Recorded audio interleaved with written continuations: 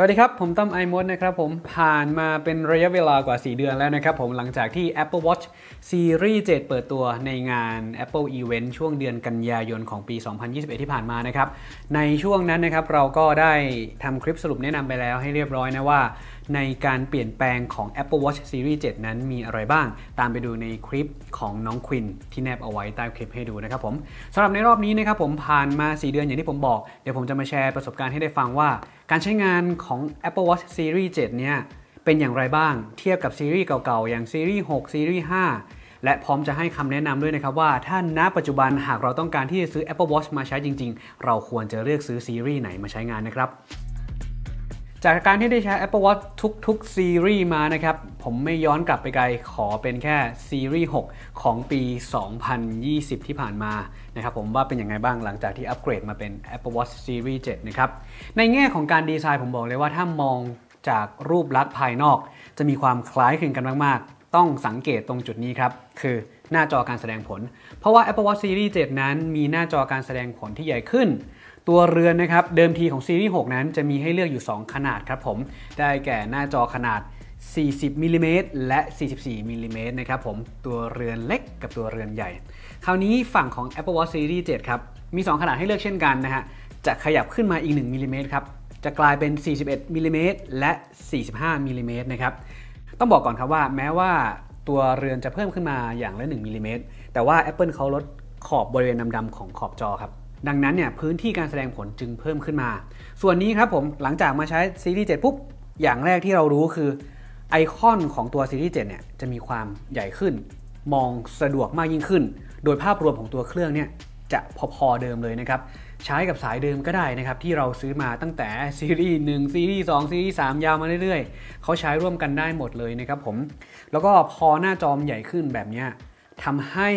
เป็นซีรีส์แรกครับผมที่รองรับ การพิมพ์ด้วยแป้นพิมพ์บนตัวเครื่องนะครับ เดิมทีการที่เราจะพิมพ์บน Apple Watch นะครับ โดยการทำ scribble คือการลากเอามือตวัดเขียนเป็น A B C อะไรอย่างเงี้ยครับ เพื่อที่จะพิมพ์ตัวอักษร แต่ว่าในซีรีส์7สามารถกดพิมพ์ได้เลย หรืออีกอันนึงก็คือเราจะสามารถใช้ dictation ครับในการพูดเพื่อที่จะพิมพ์นะครับ โดยรวมเนี่ยผมประทับใจไหมกับเรื่องของการพิมพ์ได้ ประทับใจครับ เพราะว่าบางทีเราขี้เกียจ scribble บางทีเขียนไปแล้วมันไม่ดีเทคตามที่เราเขียน อาจจะลายมือไม่สวยด้วยประมาณนั้นนะครับ หรือจะให้ใช้สั่ง dictation ตลอดก็ไม่ค่อยสะดวกนะครับ บางทีก็ไม่อยากจะพูดนะตอนนั้น แต่อยากจะพิมพ์เอาเองนะครับ เมื่อแป้นพิมพ์ภาษาอังกฤษมาอยู่บนข้อมือตรงนี้ก็ทำให้เราโต้ตอบได้ง่ายและก็สะดวกมากยิ่งขึ้น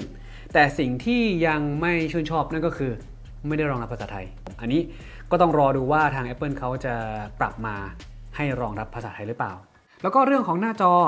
ที่ใหญ่ขึ้นมาแล้วมีอะไรดีขึ้นอีกนะครับหน้าจอเป็นหน้าจอแบบ Always On Display เหมือนเดิม แต่เพิ่มเติมคือ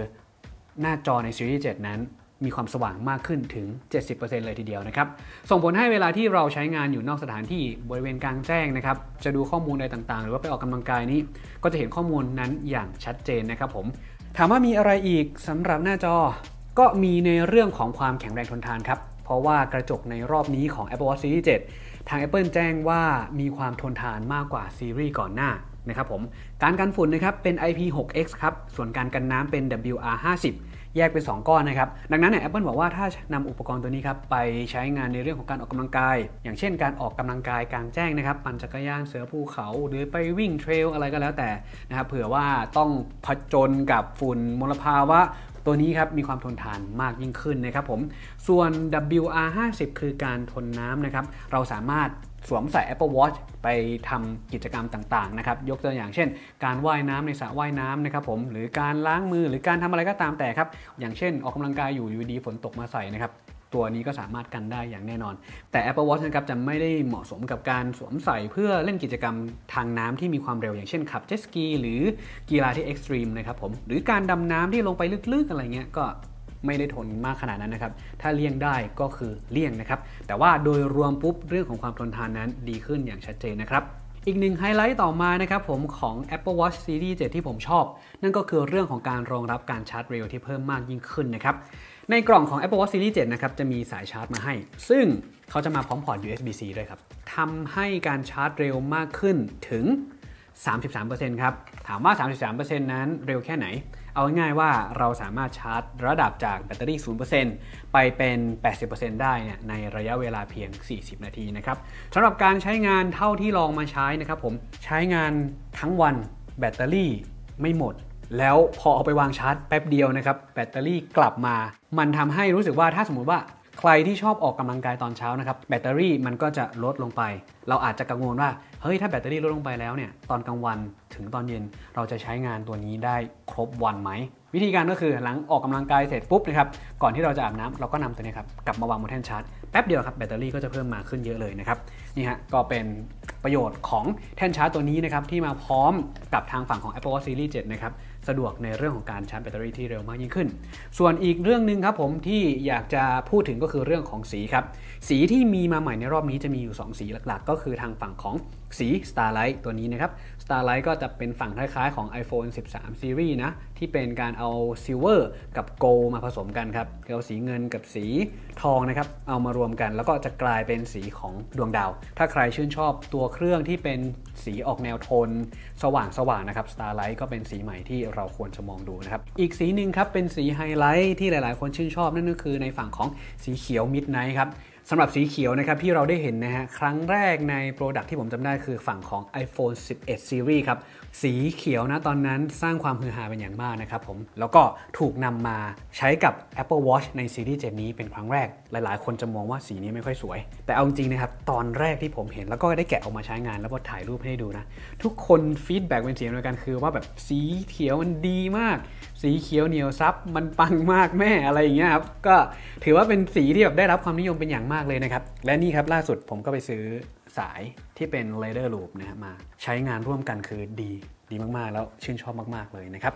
อะนี่ครับเรื่องของสีใน Apple Watch Series 7 นะครับ แต่โดยภาพรวมครับฝั่งของฟีเจอร์ใหม่ๆ ถามว่าถ้าเปรียบเทียบกับซีรีส์6มีอะไรแตกต่างมากกว่านี้ไหมไม่มีครับ เซนเซอร์ก็เซนเซอร์เดิมนะครับผม อย่างเช่น การวัดอัตราการเต้นของหัวใจนะครับ วัดค่า ECG นะครับ วัดคลื่นหัวใจก็ได้ด้วยนะครับ แล้วก็วัดค่าออกซิเจนในเลือดครับ ก็มีเหมือนกันนะ เรียกได้ว่าไม่ได้มีฟีเจอร์ใหม่ที่จะเหนือกว่าซีรีส์ก่อนหน้านะครับ ดังนั้นเนี่ยก็เลยตัดสรุปมาที่ว่า แล้วณปัจจุบันเนี่ยถ้าจะให้เลือกซื้อจริง ๆ หรือว่าคนที่ถือซีรีส์6อยู่จะอัปเกรดมาเป็นซีรีส์7ดีไหมนะครับผมฟันธงให้ก่อนคำถามแรกคือ ถ้ามีซีรีส์6อยู่จะอัปเกรดเป็น Apple Watch Series 7ดีไหม ผมมองว่ายังไม่ควรที่จะอัปเกรด ด้วยความที่ฟีเจอร์ของซีรีส์7นั้น ไม่ได้มีอะไรที่แบบแตกต่างจากซีรีส์6 มาก ขนาดนั้นเพียงแค่แบบหน้าจอใหญ่ขึ้นนะครับมีสีใหม่ที่เพิ่มมากขึ้นแค่นั้นเองนะครับผมแต่โดยรวมประสิทธิภาพเนี้ยทั้งเรื่องของความเร็วเอง ทั้งเรื่องของฟีเจอร์ใหม่ๆเอง ผมมองว่าซีรีส์6ก็ยังดีมาก ๆ อยู่แล้วนะครับผมแล้วคราวนี้ถามว่าณปัจจุบันเนี่ยเราจะเลือกซื้อรุ่นไหนดีนะครับตามหลักการของ Apple ง่ายๆเลยครับผม ตัวใหม่มักจะดีกว่าตัวเก่าเสมอ และสินค้าอันนึงครับไม่ควรที่จะซื้อต่ำมากกว่า 3-4 ปีย้อนหลังนะครับ ดังนั้นถ้าให้ฟันธงณปัจจุบันรุ่นไหนที่ควรจะซื้อถ้าเป็นซีรีส์ตัวท็อปแนะนำเลยครับซีรีส์5ซีรีส์6ซีรีส์7ครับ3ซีรีส์นี้เท่านั้นถ้าคุณจะซื้อนะฮะมือหนึ่งให้ไปดู 6 กับ 7 ไว้เลยครับ ถ้าตัวไหนใกล้เคียงกันหรือว่าเราชอบแบบไหน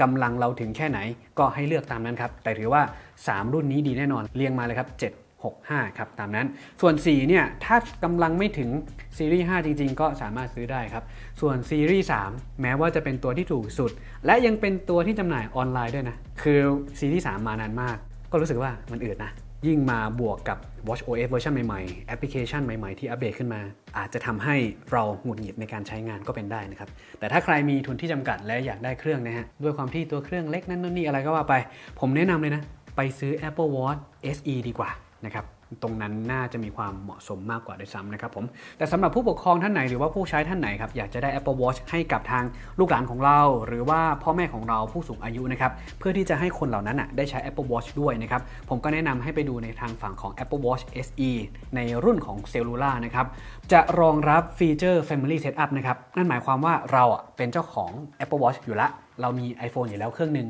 แต่ลูกของเราเราไม่อยาก ให้เขาใช้ iPhone แต่อยากให้เขาใช้ Apple Watch นะครับ เราก็ซื้อ Apple Watch ที่เป็นเซลลูล่าตัวนี้แหละ แล้วก็ทำการเซตอัพ โดยใช้คุณสมบัติ Family Setup ให้นะครับพ่อแม่ของเราก็จะสามารถใช้ได้เช่นกันนะครับเผื่อว่าจะเอาไว้ใช้ในการออกกำลังกาย หรือว่าตรวจเช็คพวกสุขภาพ ข้อมูลสุขภาพต่างๆนะครับโดยเฉพาะผู้สูงอายุเนี่ยถือว่ามีความจำเป็นมาก ๆ เลยนะครับผมอันนี้ก็เป็นอีกหนึ่งความสามารถนะครับที่ Apple Watch มีให้นะครับสำหรับ Apple Watch นะครับผมณปัจจุบันที่วางขายนะครับผมถ้าจากทางฝั่งของ Apple Store นะครับจะมีอยู่ 3 ซีรีส์ได้แก่ Apple Watch Series 3ครับ Apple Watch SE แล้วก็ Apple Watch Series 7นะครับซีรีส์3จะถูกสุดครับราคาเริ่มต้นอยู่ที่ 6,900 บาทนะครับส่วนขยับขึ้นมาคือ Apple Watch SE นะครับผมราคาเริ่มต้นจะอยู่ที่